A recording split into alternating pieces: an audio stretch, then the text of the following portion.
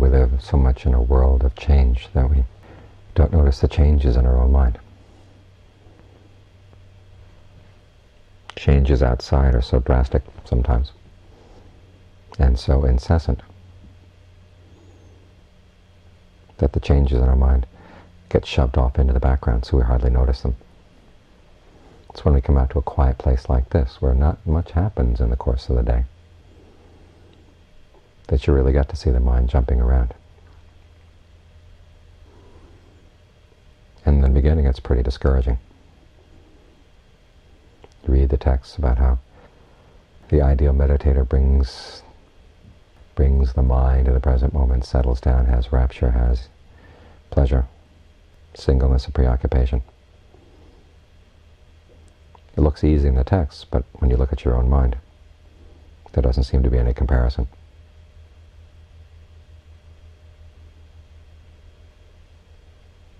So when you get discouraged like that, one of the themes the Buddha has you think about is called Sangha recollecting the Sangha. Think of all the people who've practiced meditation over the past couple thousand of years. Not everybody had it easy. As the Buddha said, there are basically four types of practice. Fast and easy, fast and painful. Slow and easy, slow and painful.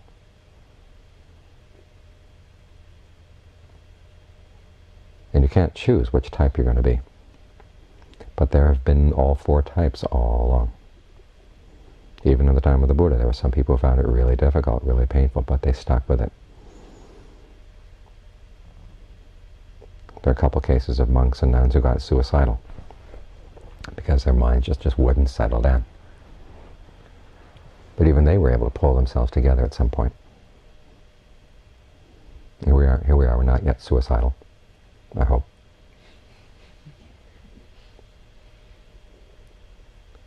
So if they could pull themselves together, we can pull ourselves together. A lot of it has to do with patience. We Americans are an impatient lot. Everything is instant, instant, instant. I remember when computers first came out, they seemed so fast.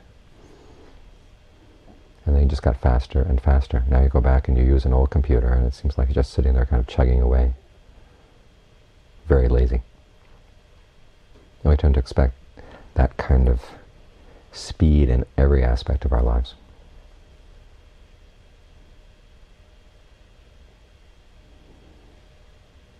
So sometimes we have to face up to the fact that, okay, maybe our practice is going to be slow. But at least it's a practice. At least it's going someplace. As the Buddha once said, the, the sorrow that comes from having a goal you haven't reached yet is nowhere near as bad as the sorrow that comes from not having a goal. Psychologists tend to teach us that having ideals is, is hard on the mind. What kind of life would it be like if we didn't have ideals, if we didn't have a sense of direction? We'd just be floundering, or floundering around, and there'd be that question, where is this going? What is this all about? Because there is so much pain. There is so much suffering that goes on in this world. And if we don't make up our minds that, okay, at least we're going to head in the right direction, it all seems very hopeless. The right attitude to have, so however long it takes, this is the path to follow. This is the only one that offers any real hope. And where can you start except for where you are? So you start where you are. You take heart from the fact that there have been people who've been worse off than you and they've become arahants. Many, many, many people like this in the past.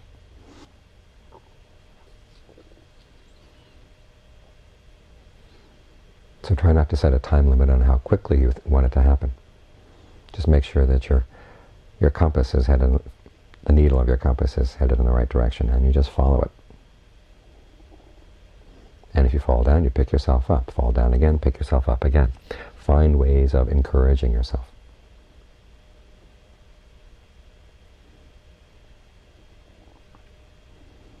Ajaan Maha Boowa tells a wonderful story about how he was out in the woods one time and feeling kind of miserable. He was all alone. Apparently he'd gotten to some sort of impasse in his practice. And he overheard some villagers. They're on their way to a, a festival in another village, and they sounded like they were having so much fun. And for a moment he was thinking, my gosh, here I am just a rag thrown away in the forest. My life has no meaning at all. At least those people know, know enough how to have fun, how to have a good time. But then he was able to set his thoughts aright. He said, wait a minute. I'm being out here in the forest. I'm not sending myself to hell. At least I'm headed in the right direction. Their direction just goes around and around and around and goes nowhere. This direction has hope. This direction has purpose. And so it's this ability to talk yourself into sanity. That's what matters. And talking yourself into sanity once may not work, but you just keep doing. Keep chipping away, chipping away, chipping away. This is an important part of the meditation. We often think meditation means not thinking, just focusing on the breath and coming back, coming back, coming back. But there are times when it just doesn't seem to work and you've got to sit down and encourage yourself. A good part of meditation is skillful thinking. How to think when you're angry, to get past the anger, how to think when you're feeling lost, how to get past the lust, how to think when you're feeling discouraged so you can get back to past the discouragement or the depression or whatever. Before we can give up thinking, we have to learn how to think well. We have this wonderful faculty, this ability to think, and yet for so much of us, it's destructive. It causes us all kinds of harm.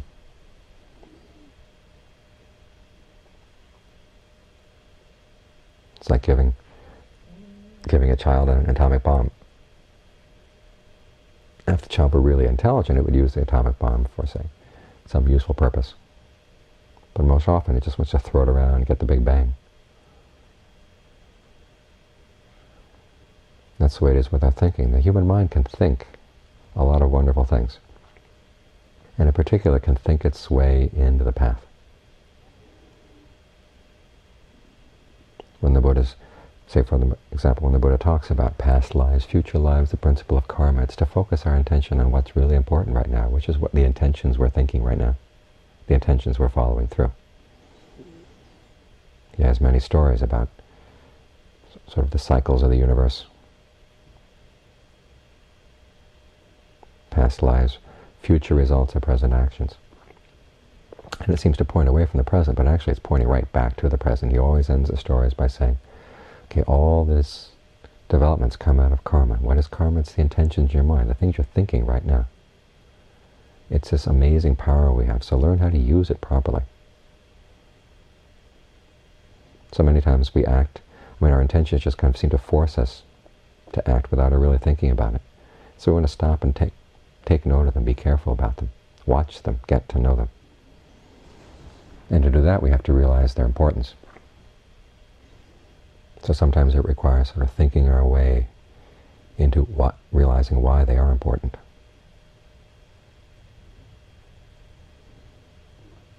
And same goes with a lot of the other elements in the path as well. Sometimes the mind really gets off on the wrong track.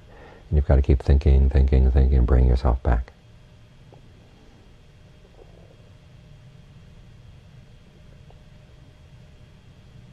This is why we have teachers, this is why we have good friends on the path, but ultimately you have to be your own best friend. Take yourself in hand and say, look, things may not be so well right now, but if you let yourself get off on the wrong path, it's just going to get worse and worse and worse. At least head in the right direction and keep walking there as much as you can. And you find that step by step by step, things begin to clear up. Even if outside things don't clear up immediately, at least the mind is in a much better state. So when you find it hard to stay with the breath, there are lots of topics, meditation topics for getting yourself back on track. Recollection of the Sangha, recollection of the Dhamma, recollection of the Buddha, recollection of the good you've done in the past.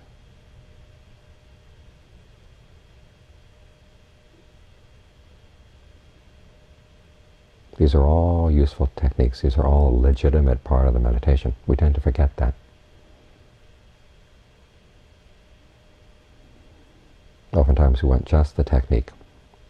Some meditation teachers say, okay, all you need is a technique. They turn into this super science, they say.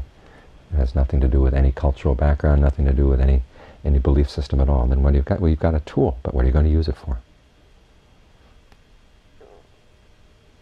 There's a whole system of values that lies around meditation. If, if just, say, pure vipassana, pure noting, or pure whatever were enough, why would the path have eight folds to it? Why would it have eight parts? Part of it is right resolve. There's right view and right resolve. These things have to get straightened out in order to keep the path in line. As the Buddha once said, right view comes first. Right after that comes right resolve. So if you find your, your views getting off the path, sit yourself down and reason things out.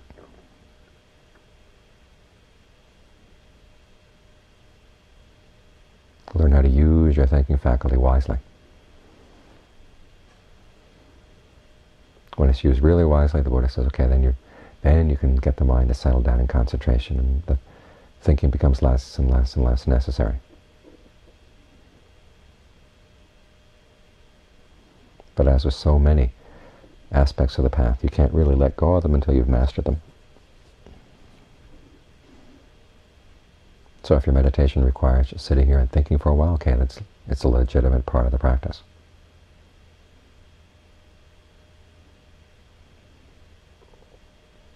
And you find as you get better and better at working through some of the arguments the mind has for straying off the path, or attitudes that prevent it from getting on the path, they get weaker and weaker, and you can see through them more and more easily.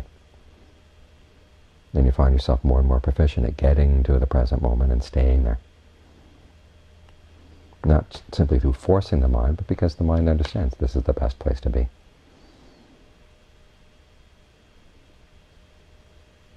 Then you can really get down to work.